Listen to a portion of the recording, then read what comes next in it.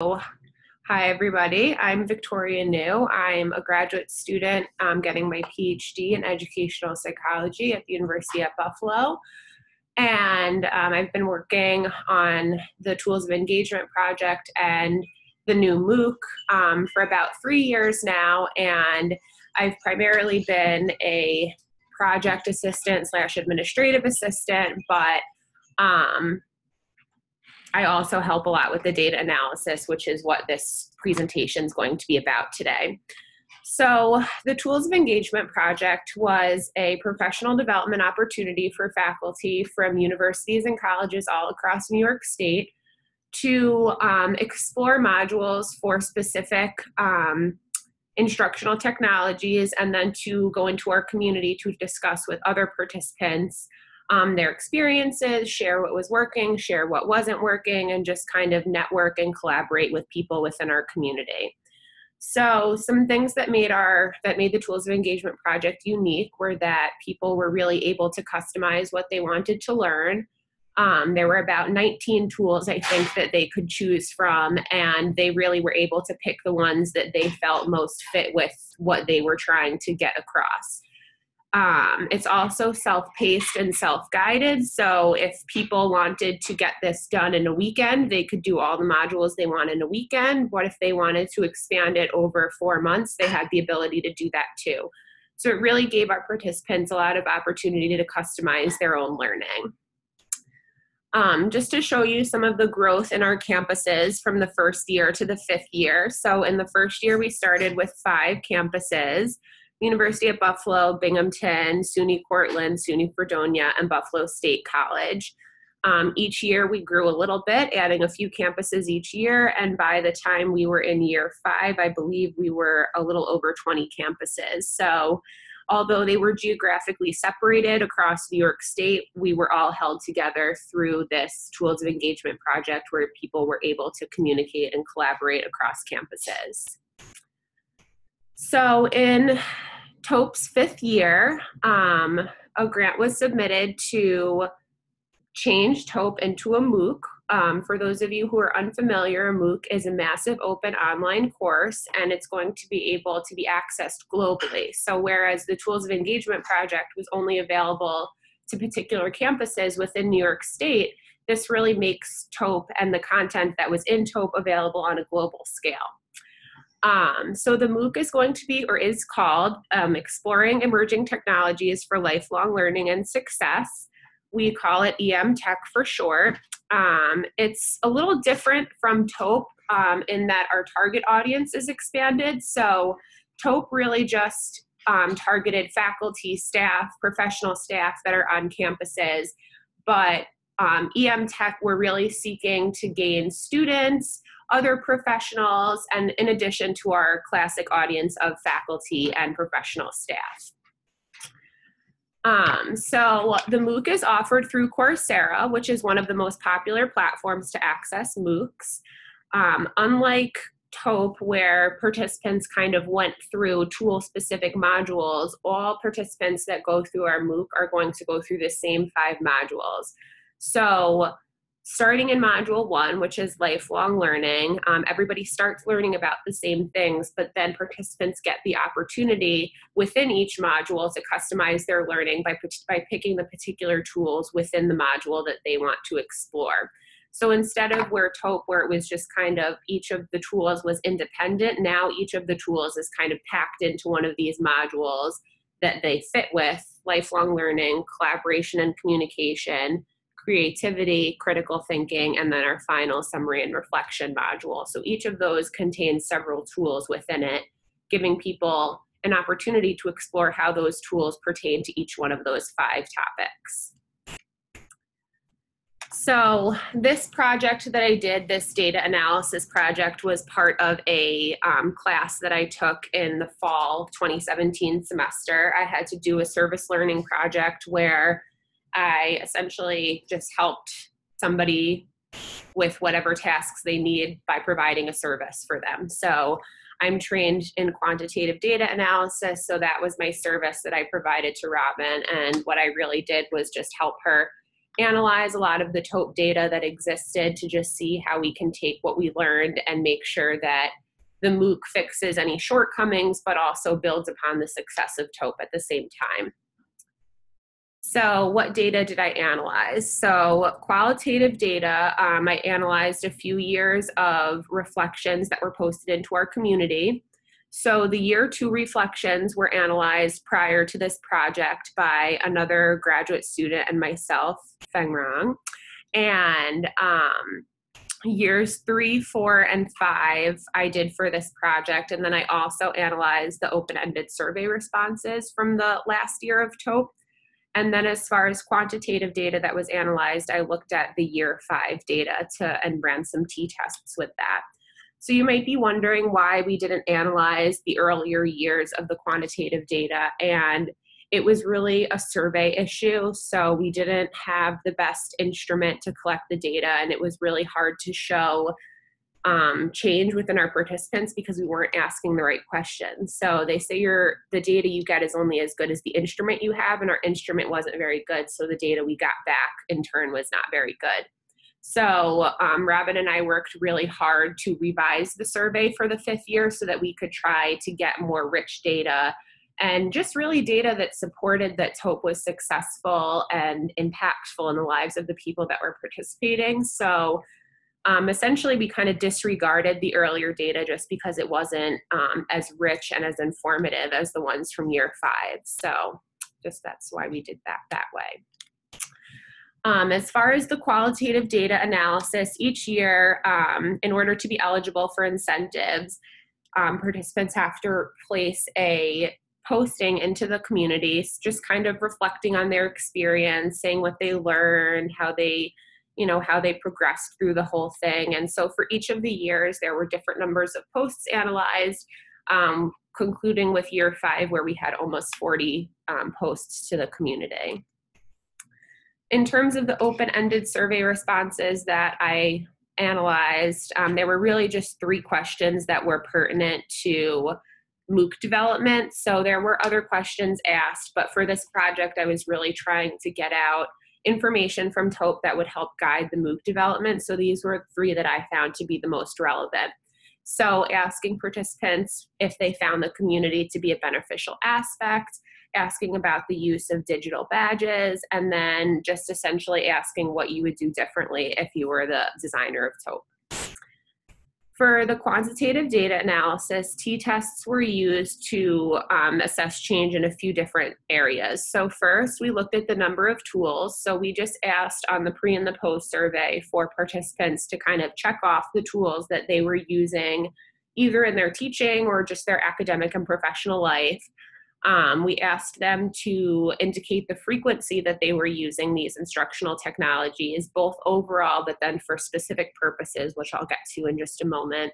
And then we also assessed their self efficacy for technology integration. In terms of the qualitative findings, um, this table just kind of shows you the top four findings from each of the years um, that we analyzed. And as you can see, there's pretty much a lot of consistency within the first three themes. So, consistently, we see this immediate implementation, the vicarious learning um, through the experience of others in the community, but then also the eagerness to continue to explore um, the, all the modules after program after the program officially ended. So as you can see, there's a lot of consistency, but then as we get down into the fourth most common finding, it's kind of varies from year to year. So it really shows how much the TOEP community kind of takes on a new character with each of the years that comes. Um, so every year, different people come to participate, and those different people bring different experiences with them. They come from different disciplines, they're at different universities. And so, as a result of these different groups of people, each um, community year kind of takes on its own little title. So, um, these were the the most common ones, and yeah, I'm not going to say too much more about that. So from the open-ended survey responses, we got some really great data out of this that we that was really helpful for the MOOC development. So Um, not surprisingly, we found out that the TOEP community was one of the most favorite and effective aspects of their experience. This wasn't really surprising to us because anecdotally, we've had lots of people tell us that they really loved the community, they loved the networking aspect, they loved the support that they were able to get from other people. But then it also was a resource. So if people had a question, if they wanted to know, did anybody use this in their class? Did it work out? How did your students feel about it? They could go to the community and they could just ask this question and they didn't have to do a trial and error for themselves. They could just get this information from other people. So that was really, um, by and large, I would say the most people's favorite aspect of TOEP. And something that we were a little surprised by was about half of our participants really liked the use of digital badges. Um, a quarter of them didn't really care too much, and um, about a quarter didn't like them. But we had thought those numbers were a lot lower, so it was really great to see that people really responded well to the use of badges. And this was something that we kept in the MOOC as a primary component of the program.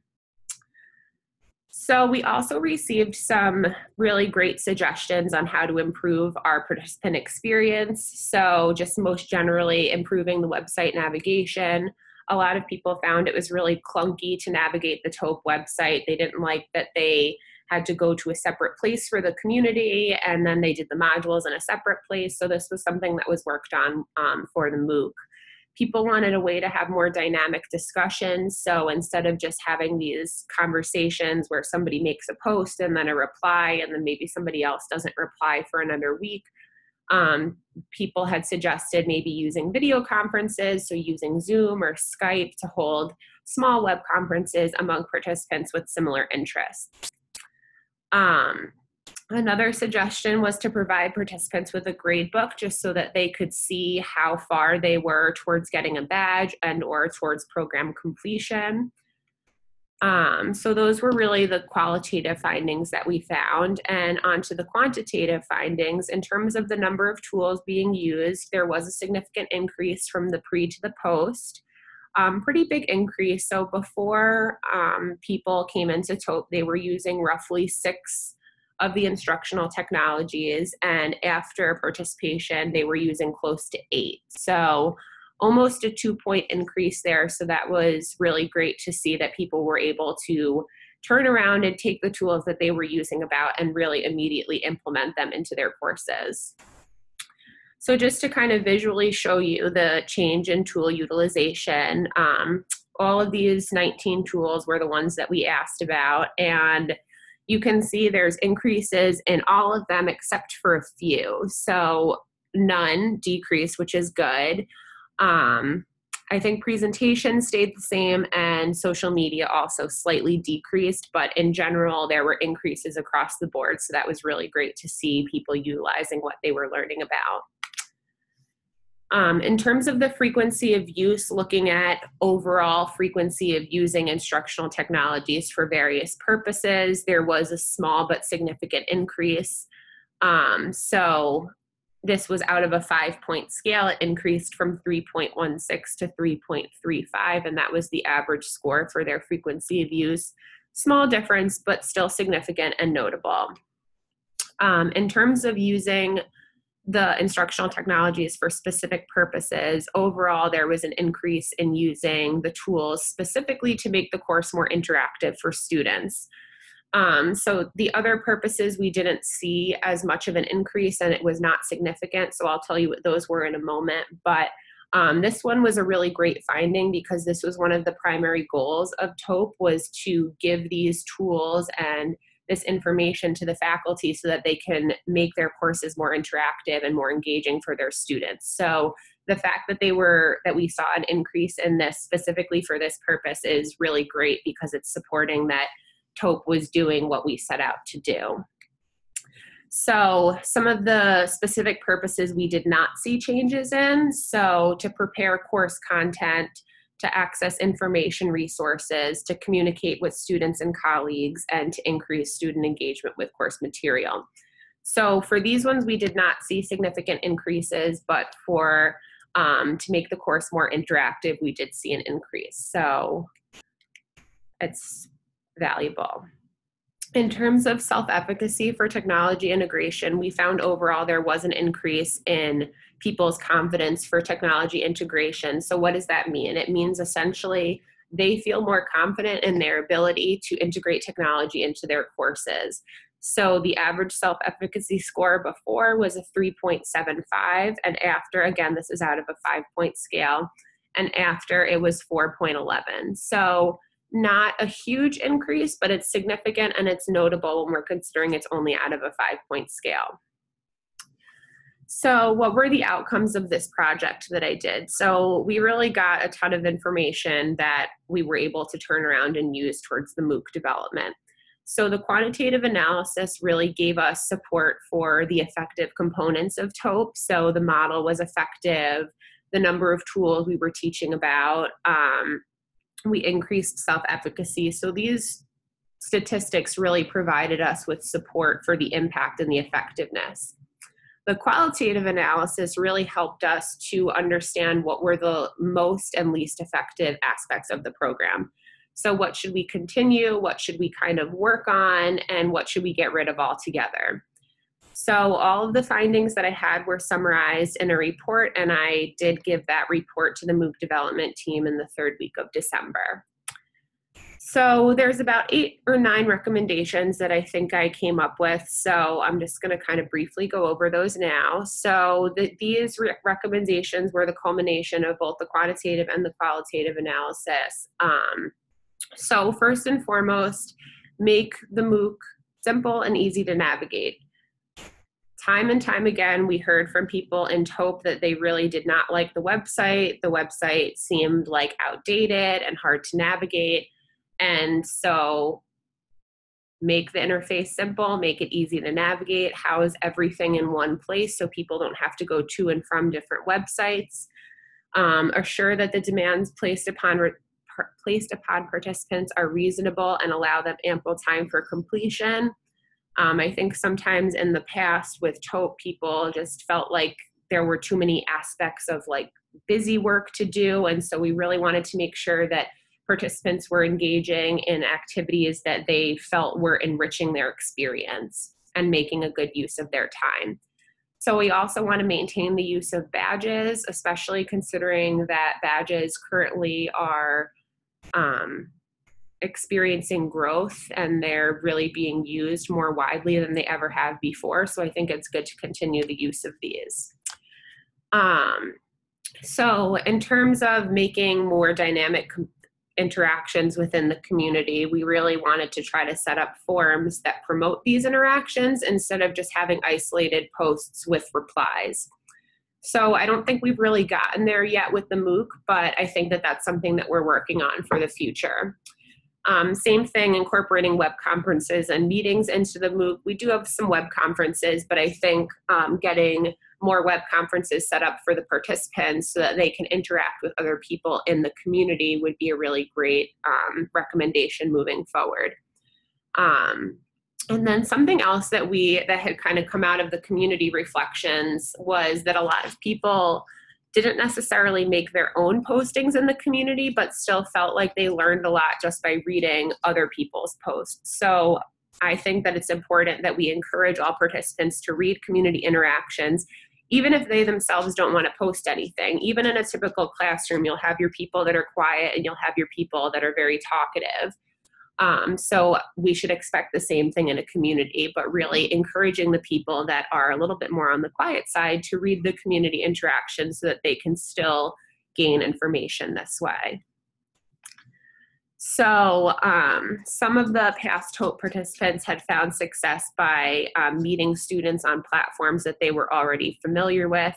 So, um, just another way to kind of get faculty to modernize their classes and to make content more relevant to students by meeting them on platforms they're already using. So, students have cell phones with them instead of seeing the cell phone as a distraction, have them complete an assignment on it.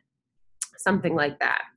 So, another recommendation for the MOOC was to offer a course credit or a certificate of completion specifically for students. So, students were one of the groups that we found that we were going to have the most difficulty motivating to participate, specifically because I think most students of today don't see themselves as having a deficiency in technology knowledge. I think it's quite the opposite, but that doesn't mean that there's nothing for them to learn. I just think it's a issue of perspective. So, in order to motivate them to participate, perhaps offering some type of credit that can be used towards coursework or some type of certificate that they can at least show that they did this course and they learned something from it. And last recommendation just to constantly keep evolving the material, keep it fresh, and keep it relevant. So that seems kind of self explanatory. Um, so looking forward, our MOOC launched this past January. We just finished up our pilot period and we are looking to March when we are officially launching. Um, and so that's about it.